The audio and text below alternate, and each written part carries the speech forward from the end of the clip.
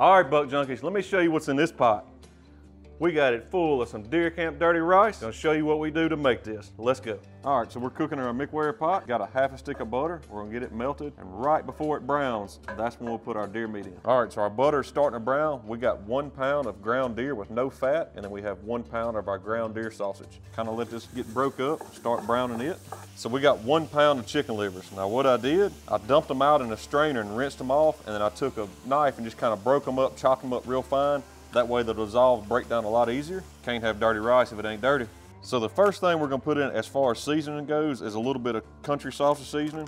We're just gonna add about tablespoon and a half just to bring out some of those sausage flavors, add a little bit of kick, add a lot of savory flavor. So you can tell this meat's starting to brown down. We're gonna turn the heat up just a little bit, let it continue to cook, kind of wanna dry it out just a little bit, then we'll get our vegetables in. For our vegetables, I'm cheating. I'm using the old Cajun style mix out of the frozen food section. It's got all your onions, bell peppers, celery, we're gonna put two pounds of it in there. So we got a little bit of garlic paste. We're gonna put two good squirts in here. Gotta have that garlic. Next up, we're gonna lightly season it, a little bit of King Craw. We're gonna season it again after we get our rice and everything cooked, but this is just kind of the start. So we got all our ingredients cooked down. I have three cups of rice. Now I've washed this rice. This is just a little bit more than one pound.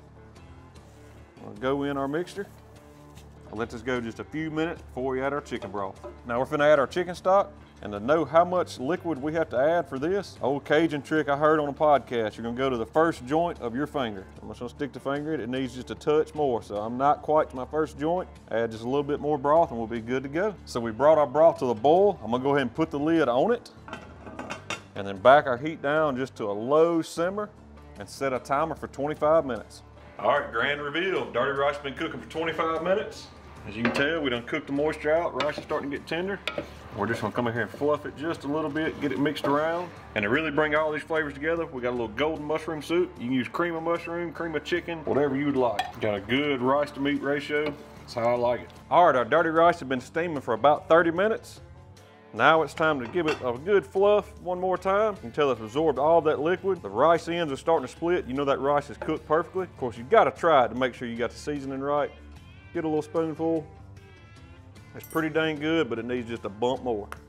So we're just gonna lightly season it. It don't need a lot, you just need a little bit of salt. Now it's time to get this bowled up. Now if that ain't good looking dirty rice, I don't know what is. Let's see if we done it right. That right there keep you warm this winter. That's good eats.